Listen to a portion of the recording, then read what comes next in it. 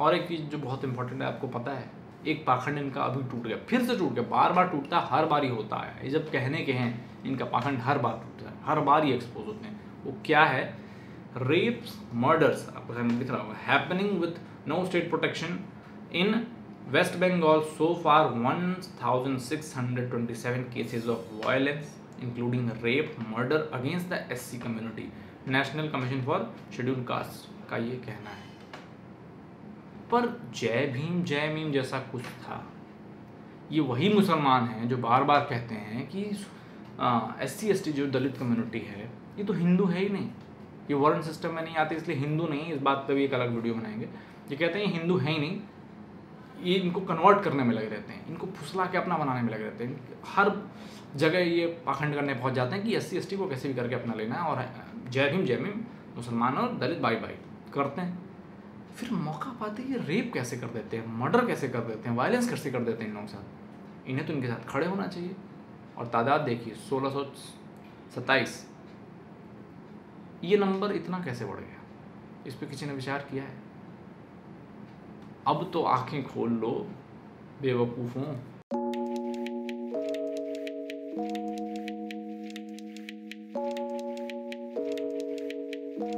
नमस्कार दोस्तों। मेरा नाम है पीयूष, आप देखेंगे क्वेश्चन आर भारत। जैसा कि मैंने प्रॉमिस किया था कि मैं इस मुद्दे को दबने नहीं देना चाहता हूँ, और इस बात में मैंने लाइव किया था कि बंगाल में जो हो रहा है, जो ममता दीदी के चुनाव जीतने के बाद जो चीज़ें हुई, जो घटनाएँ कंटिन्यू अभी तक हो रही हैं, इसकी रिस्पॉन्सिबिलिटी ज़ाहिर सी बात है स्टेट के सीएम को होनी चाहिए, और उनको पूरी रिस्पॉन्सिबिलिटी लेते हुए सिचुएशन को कंट्रोल करना चाहिए, सुधारना चाहिए, जो लोग बंगाल छोड़ के गए हैं, उस डर से, उस दुख में उनको वापस बुलाना चाहिए कंपनसेशन देना चाहिए। और ऐसा दोबारा नहीं होगा इसका आश्वासन देना चाहिए। बजाय इसके, मैडम ने इस पर कोई प्रतिक्रिया नहीं ज़ाहिर की है।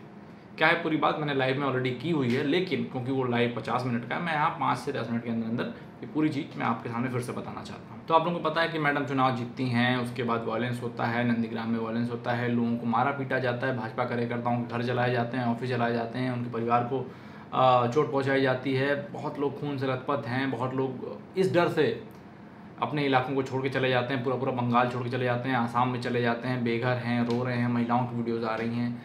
कई कई जगह बंगाल के, वेस्ट बंगाल के गवर्नर मतलब सीएम से ज़्यादा गवर्नर दौरे पे है, सीएम से ज़्यादा गवर्नर ट्वीट कर रहा है, एकदम परेशान है और सेंटर से लेकर स्टेट तक सबको गुहार लगा रहा है। लगभग हर एक, हर ट्वीट में, उस दिन के बाद से हर ट्वीट में लगभग एक बार ये बात कही जा रही है कि जो वॉयलेंस हो रहा है उसको कंट्रोल में किया जाए और सेंटर और स्टेट दोनों को टैग कर रहा है। और उनके द्वारा कुछ फ़ोटोज़ आई हैं मेरे सामने, उनके ऑफिशियल ट्विटर हैंडल से मैं आपको दिखाना चाहता हूँ। ये सोलह मई का ट्वीट है गवर्नर साहब का, कि नंदीग्राम वो गए, उन्होंने क्या क्या देखा और वहाँ के हिंदू जो हैं, जो जा रहे हैं, वो लिख, क्या लिख रहे हैं? We are not safe here Mamata stop Hindu killing मुझे लगता है ये कश्मीर का छोटा सा एक मिनी रूप है। अभी बड़ा रूप भी आपको देखने को मिल सकता है अगर आपने इसके ऊपर प्रतिक्रिया नहीं की। ये शत प्रतिशत एक रिलीजियस बैटल है, वरना वीडियो बनाने वाले जो लोग मार पीट करके मतलब जो लोग पीट के भाग रहे हैं, वो वीडियो बना के ये नहीं कहते कि यहाँ हमें हिंदू होने की वजह से मारा जा रहा है चुन चुन के हिंदुओं को भगाया जा रहा है, मारा जा रहा है, जलाया जा रहा है।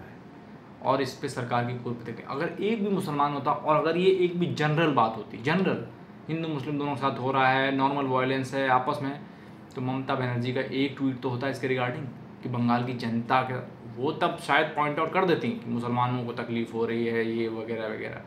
लेकिन यहाँ सिर्फ़ हिंदुओं की बात है तो उनका एक ट्वीट वायलेंस से रिलेटेड भी नहीं आया, दुख प्रकट भी नहीं किया गया उस दिन से लेके आज तक। लेकिन मैडम को, जो उनके संगी, साथी पॉलिटिशियंस हैं, उनकी बधाई लेने का बहुत शौक है और उनकी हर एक की बधाई पे रिप्लाई करने का बहुत शौक है, जो कुछ मैं उठा के ले आया हूँ, जो मैंने लाइव में भी बताया था। जैसे राहुल गांधी की बधाई मैडम लेती हैं, राहुल गांधी बधाई देते हैं। I am happy to congratulate Mamata ji. And the people of West Bengal for soundly defeating the BJP madam क्या रिप्लाई करती हैं? धन्यवाद देते हुए। कि people of Bengal have pave the way for the rest of the country BJP's politics of hatred shall be booted out of India very soon अगर इसका मैं सरकास्टिक या सटायर वे में अगर मैं आपको कुछ कहूँ कि people of Bengal pave the way for rest of the country इसका क्या मतलब है? बंगाल में जो प्रदर्शन हो रहा है, जो दिखावा चल रहा है, बंगाल में जो दृश्य बंगाल के जो सामने आ रहे हैं, कि हिंदुओं को मार पीटे भगाया जा रहा है, सिर्फ़ इसलिए कि उन्होंने भाजपा को वोट दिया। भाजपा तीन से सतहत्तर, पचहत्तर पहुँच गई है, इसलिए उनको मारा पीटा जा रहा है। तो क्या ये रेस्ट ऑफ़ द कंट्री में होने वाला ममता जी ये कहना चाहती हैं? अगर ये कहना चाहते हैं तो। और भाजपा की जो हेटरेट की पॉलिटिक्स है, जो भारत से बहुत जल्दी बाहर चली जाएगी, ये मैडम अगर कहना चाहती हैं तो आपकी जो प्यार भरी पॉलिटिक्स है आपकी जो बिल्कुल फूल बरसाने वाली पॉलिटिक्स है, उसकी वजह से तो पूरा पूरा एक वर्ग बहुत बड़ी तादाद में बंगाल छोड़ के जा चुका है, उसका क्या? हेटरेट की पॉलिटिक्स तो उनकी बाद में जाएगी बाहर। आपके बंगाल से आपके बंगाली बाहर जा रहे हैं, उसका क्या?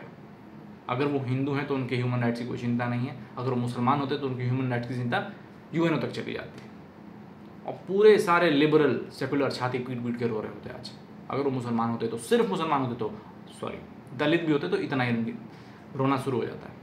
एक दो ट्वीट और लेके आया हूँ मैं, इनकी बधाइयों का। महबूबा मुफ्ती हैं, मैडम ये बधाई देते हैं कि बधाई हो ममता जी स्प्लेंडेड विक्ट्री के लिए। Kudos to the people of West Bengal for rejecting disruptive and divisive force disrupting divisive force थी, ठीक है? अब उसको तो रिजेक्ट कर दिया बंगाल ने। लेकिन जो फूल बरसाने वाली और प्यार की और जो यूनिफाइंग जो फोर्सेस को ले आई हैं बंगाल की जनता, उसकी वजह से बंगाली लोग तो घर छोड़ के जा रहे हैं। उसकी वजह से तो दंगे हो रहे हैं। एकदम यूनिफाइंग फोर्स है ना वो तो। तो मैडम क्या रिप्लाई करती हैं? धन्यवाद Mehbooba ji for a warm wishes Bengal has rejected politics of hate divisiveness and voted for development आज की ताज़ा खबर।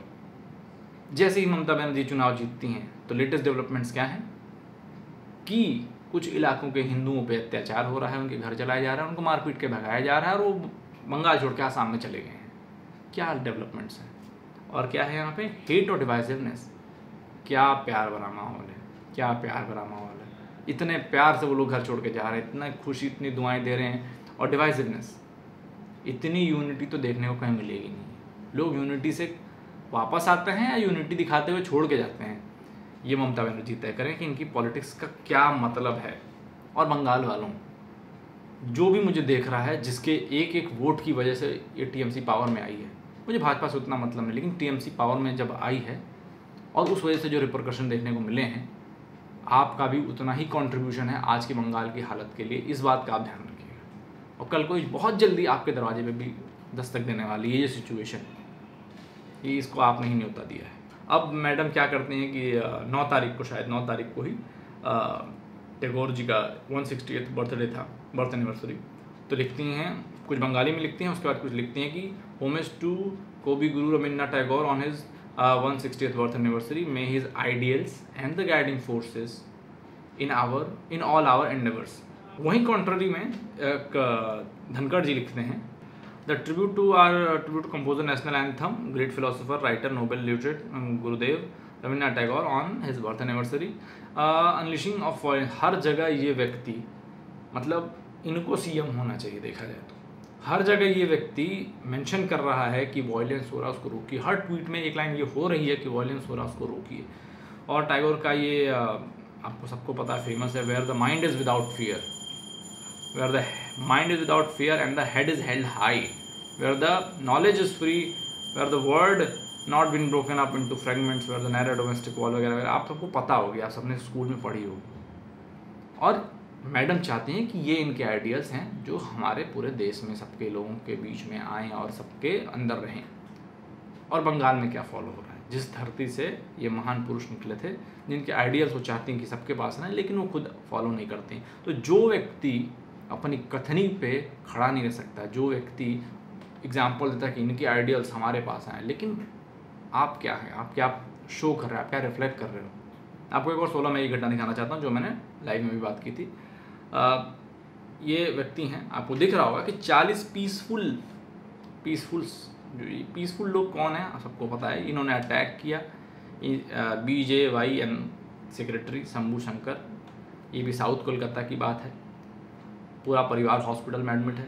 ये वीडियो आप देख सकते हैं। ट्विटर पे जाके मिल जाएगा। ट्विटर हैंडल भी इसलिए मैंने कॉपी कर लिया है। सोलह तारीख की वीडियो है। मतलब ये सब रुका नहीं है। ये रुका नहीं है। ये हो रहा है अभी तो ये वो हैं जो रिपोर्ट हो चुके हैं, ये वो हैं तो जो सोशल मीडिया की पावर की वजह से आपके सामने आ गए जो नहीं नज़र आ रहा है, वो कितना भयावह हो सकता है, आप ये सोचिए। कितना खतरनाक हो सकता है। और क्या प्लानिंग है, क्या स्ट्रेटेजी है, क्या इनका पैटर्न है, क्या मैकेनिज्म है, क्या अचीव करना चाहते हैं? इन्होंने पहले क्या आजमाया, उससे वो क्या बाद में नज़र आएगा? आप यही सोचिए कि देश के हर राज्य में जहाँ जहाँ ऐसी स्थिति उत्पन्न हो सकती है, जहाँ जहाँ मुस्लिम आबादी जाता है, जहाँ जहाँ वो सोचते हैं कि हम अपने वोट बैंक की पावर से सत्ता बदल सकते हैं नॉन बीजेपी फोर्सेस को खड़ा कर सकते हैं, जो हमारी मनमानी करेंगी और जब वो जीतेंगी, हम वहाँ की रेस्ट ऑफ़ द पॉपुलेशन जो कि नॉन मुस्लिम है, उसके साथ हम क्या करेंगे, उसका एग्ज़ाम्पल बंगाल में दे दिया है। 1990 में कश्मीर में दे दिया था। है ना? जब आपकी आबादी बढ़ती है, आप क्या कर सकते हैं? आपने बता दिया था। और यहाँ आप, जहाँ आप देखते हैं कि आपकी आबादी कम है, वहाँ आप सब, आपको सारे ह्यूमन राइट्स चाहिए होते हैं। वहाँ पे आपको सारा सेकुलरिज्म चाहिए होता है। वहाँ पे आपको सारे कॉन्स्टिट्यूशनल राइट्स चाहिए होते हैं। वहाँ पे आपको गंगा जमुनी, गंगा भी हमारी, यमुना भी हमारी। लेकिन फिर भी आपको गंगा यमुनी तहजीब चाहिए होती है। तो ये पाखंड हमें नहीं चाहिए। आपको सब चाहिए, हमें ये पाखंड नहीं चाहिए। ठीक है? खैर, इस वीडियो में मैं बताना चाहता हूँ कि ममता बनर्जी, एक नंबर की हिपोक्रेट पाखंडी ईवलिश जितनी हो सके सुरपनखा ताड़का जितनी जितना मैं इनको आ, इनके हर उस नाम से इनको बुला सकूँ जो इनकी आज हरकतें हैं ग्राउंड पे जिनकी वजह से बहुत बड़ी तादाद में हिंदुओं पे अत्याचार हुआ उनके घर जलाए गए उनके घर तोड़े गए। गवर्नर खुद जा रहे हैं ये आपको फ़ोटो दिखाना चाहता हूँ ये हालत है। वो व्यक्ति रो रहा है रोड पे गवर्नर को ब्लॉक किया जा रहा है कोरोना के कारणों से कोरोना पॉलिसीज़ की वजह से गाइडलाइंस की वजह से वो बहाना बना बना के। लेकिन जब सीबीआई वाली बात आती है तो मैडम खुद चली जाती है। समझ में आ रहा है आप लोगों को? गवर्नर के लिए सारे रूल्स हैं, हिंदुओं के लिए सारी दिक्कतें हैं, मुश्किलें हैं, सारे ऐसे वायलेंस हैं, दंगे हैं। लेकिन मैडम के वोट बैंक के लिए, क्योंकि मैडम आई हैं तो अभी ताज़ा ताज़ा हैं, अभी अपने वोट बैंक पर अटैक नहीं करेंगे। हो सकता है भविष्य में थोड़ा बहुत डांट दें। हो सकता है भविष्य में डांट दें कि क्यों किया? क्योंकि जब फिर से चुनाव का समय आएगा तो हो सकता है कि इन जो लोग गए हैं, उनको वापस आने की कोशिश करें। क्योंकि फिर पॉलिटिक्स होगी। लेकिन इनकी अपीजमेंट की पॉलिटिक्स की वजह से मैंने इस पर ऑलरेडी वीडियो बना रखी है। आप देखिएगा, अगर आप नए हैं तो ज़रूर सब्सक्राइब करिए, चाहे वीडियो में जाइए, देखिए कि ये कैसे जीती हैं, इसका मैंने एक एनालिसिस किया था कि ये कैसे जीत सकती हैं, इसकी क्या पॉसिबिलिटी है। और वही हुआ था, मैंने चुनाव से पहले भी कर दिया था। खैर, इस वीडियो में इतना मैं चाहता हूँ कि इस वीडियो को ज़्यादा से ज़्यादा शेयर करिए, ज़्यादा से ज़्यादा लोगों को जोड़िए, इस मुद्दे को मरने मत दीजिए, लोगों के बीच में बातें करिए, इसके इफ़ एंड बट्स पूछिए। लोग, मैडम से इस्तीफ़ा किसी ने अभी तक क्यों नहीं मांगा? इस बात का मुझे जवाब चाहिए। वो सारे लिबरल्स ये कामरा, ये स्वरा, ये ये नसरुद्दीन शाह, ये जितने भी हैं, ये जावेद अख्तर, ये सब कहाँ चले गए? मैं चाहता हूँ कि जनता तो है, जनता तो वहीं है ना। ये ये सब पाखंडी, ये सब डबल स्टैंडर्ड वाले चेहरे आएँगे, जाएँगे। आप तो वहीं हो, आपका देश है, आपको डिसाइड करना कि आपके देश में क्या होगा। कौन पावर में रहेगा? पावर में रहेगा तो क्या करेगा? पावर में रहेगा तो क्या बंगाल वाली स्थिति करेगा? अगर आपको और कश्मीर नहीं, और 1990 वाली स्थिति नहीं चाहिए ना किसी और राज्य में, किसी और इलाके में तो ज़रा सोच समझ के वोट दिया करिए। आवेश में आके नहीं आइडियोलॉजी पे समझिए आइडियोलॉजी पे जाइए, किसके लिए क्या पहले। मैं इतना तो दावा कर सकता हूँ आज, मैं भले भाजपा का इतना बड़ा सपोर्टर नहीं हूँ, लेकिन इतना दावा कर सकता हूँ कि भाजपा जिस राज्य में आएगी, कम से कम ये कश्मीर और बंगाल वाली हालत तो नहीं करेगी। इंटेंशनली भी नहीं करेगी और होने भी नहीं देगी। भाजपा अपने लोगों को इसलिए नहीं मरने देती है कि उसकी कोई आइडियोलॉजी ऐसी है या फिर उसका कोई वोट बैंक का ऐसा चेंज है। भाजपा भले बंगाल में जो हो रहा है, भाजपा कुछ नहीं कर रही है, मुझे मुझे तो नज़र नहीं आ रहा है, बहुत लोगों को नज़र नहीं आ रहा, बहुत लोग गुस्से में हैं। वो भाजपा का फॉल्ट हो सकता है, लेकिन भाजपा की वजह से चीज़ें हो जाएँ, ये मैं गारंटी कर सकता हूँ कि नहीं करेगी भाजपा। खैर, इस वीडियो में इतना है, फिर मिलते हैं अगली वीडियो में। जय हिंद, वंदे मातरम।